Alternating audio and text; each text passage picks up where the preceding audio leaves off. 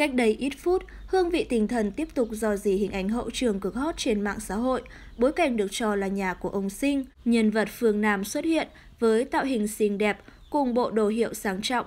Cô diện một set đồ xanh cực trend kèm đôi giày Gucci chất lừ. Tuy nhiên, bên cạnh sự thay đổi của Nam thì điều khiến cho khán giả chú ý nhất chính là sự xuất hiện của hai lực lượng công an và bác sĩ trong cảnh quay này.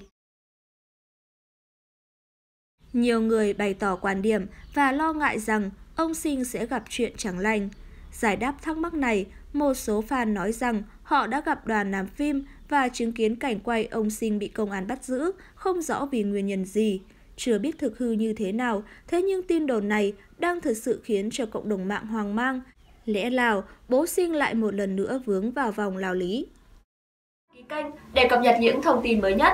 Cảm ơn và hẹn gặp lại quý vị và các bạn trong những video tiếp theo.